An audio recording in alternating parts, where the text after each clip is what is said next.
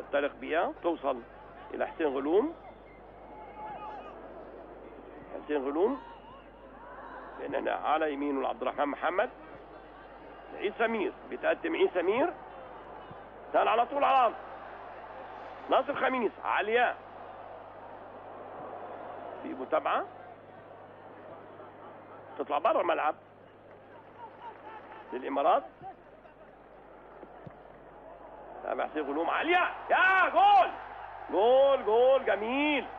جول جميل! كده يبقى الامارات سجلت الهدف الثاني. جول جميل جميل جميل!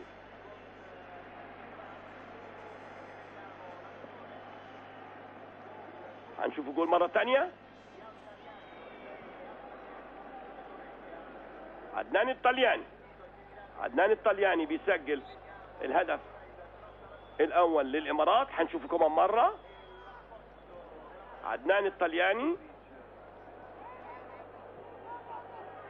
يسجل الهدف الأول للإمارات بعد مضي حوالي 22 دقيقة.